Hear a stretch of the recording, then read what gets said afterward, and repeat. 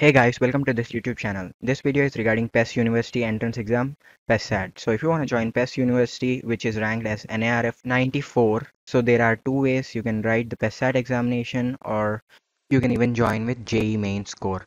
So here, uh, you, as you can see this particular website, the slot booking has started. So if you are registering before 30th July, you can write in respect to centers that are given in the website. Uh, so let me show you all the web centers. So all these are the centers.